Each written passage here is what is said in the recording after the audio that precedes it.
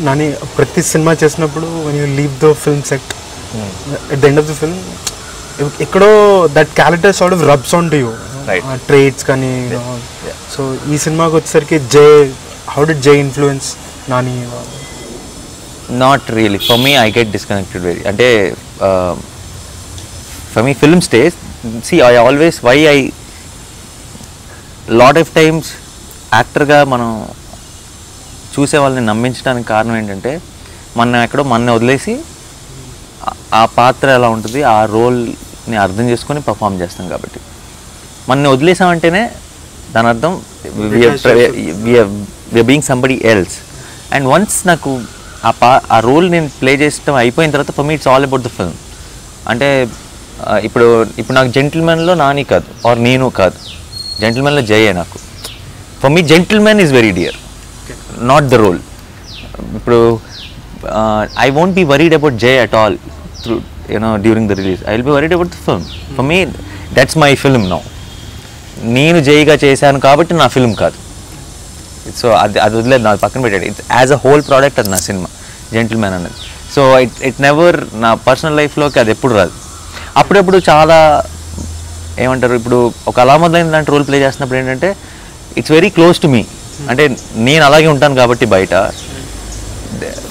In that I will rub out the character it won't rub out me so it's generally కొన్ని కొన్నిసార్లు అలాంటి situation వచ్చినప్పుడు reverse అయితే అవుతుంది తప్పితే నా నాన్నెప్పుడు రియల్ లైఫ్లో నేను ఆ రోల్ చేయటం వల్ల నేను బయట కూడా ఇలా బిహేవ్ చేస్తున్నాను అనేది ఎప్పుడు లేదు.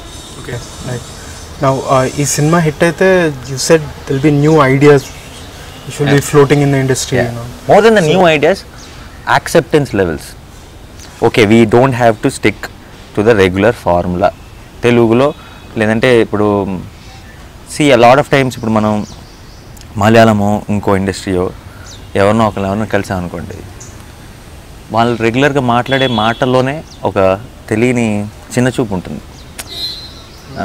అంటే ఇప్పుడు కొంతమంది టెక్నీషియన్స్ని కలిసి మాట్లాడు మీరంతా సాంగ్ అండ్ డ్యాన్స్ అవే కదండి అంటారు. మనకు అప్పుడు బాధ వస్తుంది. అంటే మనకి ఎన్ని గొప్ప సినిమాలు ఉన్నాయి? విశ్వనాథ్ గారు ఎలాంటి సినిమాలు తీశారు? బాబు గారు ఎలాంటి సినిమా ఎన్ని గొప్ప సినిమాలు ఉన్నాయి? అలా ఏం చూసుంటారు ఈ మధ్యకాలంలో వచ్చిన కొన్ని సినిమాలు ఏయో చూసేసి ఇది ఇంతే తెలుగు ఫిల్మ్ ఇండస్ట్రీ అంతా ఇంతే అంటే కోపం వచ్చేస్తుంది. లోపల నుంచి రక్తం ఉడికిపోతుంది అనమాట సో అప్పుడు ఏం చెప్పాలనిపిస్తుంది? నేను చాలా గొప్ప సినిమాలు చేశాను బాబు మీరు అందరు కూర్చొని చూడాలి. మీరు అసలు సరిపోరని చెప్పాలి సార్ అనిపిస్తుంది. అండ్ మన గొప్ప సినిమాలన్నీ మనకు గుర్తొస్తాయి.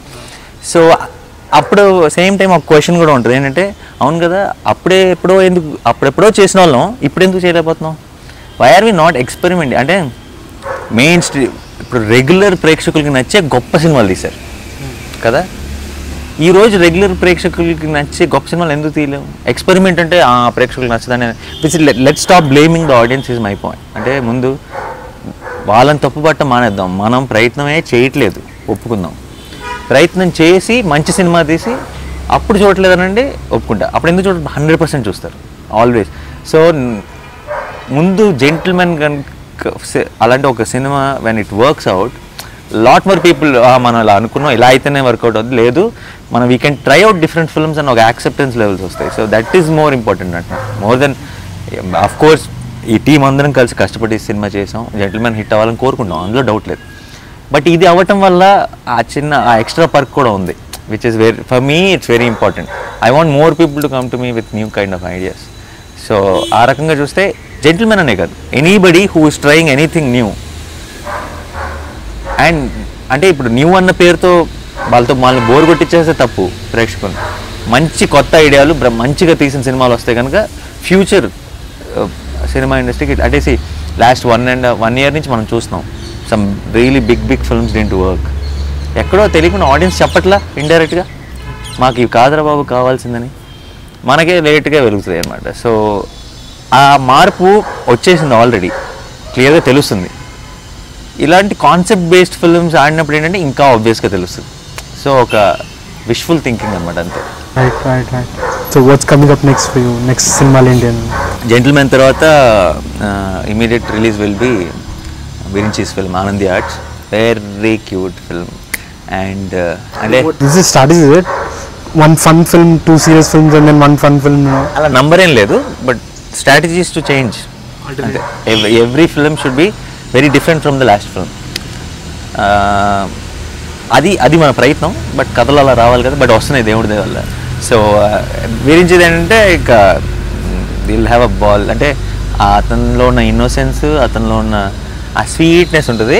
అండ్ కా మీకు కావాల్సిన అంత entertainment so Nani then then I know అందరికి అలా మొదలైంది కానీ భలే భలే. ఏదైనా ఏదైతే ఫన్ టోన్ ఉందో ఆ ఫన్ టోన్ చాలా సటిల్గా మంచి ఒక మంచి బ్యాక్ డ్రాప్లో వచ్చే cinema. Very interesting but we just started right right one final question ఏదైనా రోల్ ఉందా which Nani can do have you told yourself I not get into that ever నేను చేయలేను అని చెప్పింది అసలు ఈ రోజు దాకా లేదు. బట్ నాకు చేయాలని లేదు ఉన్నాయి. I don't like to do horror films no horror no ఎందుకని? I don't know some that's latest I don't mind watching I like watching horror films but అది కూడా చేయలేను కదా. సి ఏదైనా చేయగలన నమ్మకం ఉంది బట్ ఛాలెంజ్ ఉంటే అంటే ఎలా చేస్తావరా అన్న ఛాలెంజ్ ఉండడంలో కిక్ ఉంది అది ప్రతి సినిమాలో ఉంటే బాగుండని కోరుకుంటాను. బట్ హారర్ సినిమాలు ఏంటంటే నేను నాకు నాకు చేయాలని లేదు యాక్టర్గా. రిలీజ్ అయితే చూస్తా.